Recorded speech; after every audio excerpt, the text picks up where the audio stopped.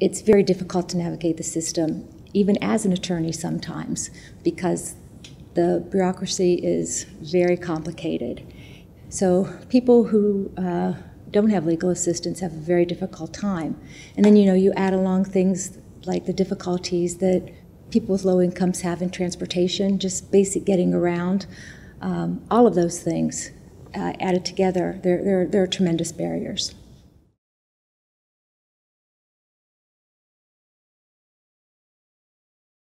I had worked very actively in Ohio in the legal services field. And uh, when I came to Illinois, um, I wanted to slow down a bit, and uh, I decided that I would just do volunteer services. And uh, I ended up at uh, LAF, where I volunteer from 20 to 30 hours a week. I started out in the um, uh, abuse, and neglect, child welfare uh, field, and I sort of worked my way into education. So I do both. I've worked in one case for almost five years now. It's uh, an older sister who grew up in the foster system who has been attempting to adopt her younger brother. Their, their mother has a very serious drug problem, and there are seven children all in the system. She's the oldest one attempting to adopt the younger one. She wants to do the right thing, and, and she has a strong sense of family despite her almost lack of family growing up she was the foster parent for the child. The child was removed from her for a short time because um, the Department of Children and Family Service thought there was an arrest warrant against her, which there wasn't. And uh, I'm happy to say um, we're at the very final stages of adoption right now. And um, it's, it's, they're a great family.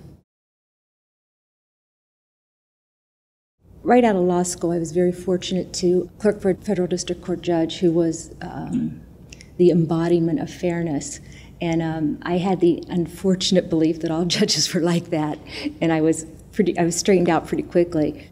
This gentleman, his name was uh, John Holschuh, he, um, he's deceased now, but he, um, he literally agonized over every case.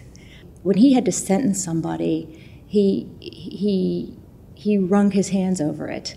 And um, his sense of fairness and what was right and wrong really, really affected me.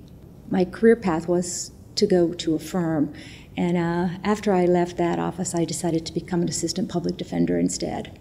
And since that time, I have been um, only doing public service work. His sense of right and wrong and his sense of fairness had such an impact on me that, um, th- that that's what I've wanted to do.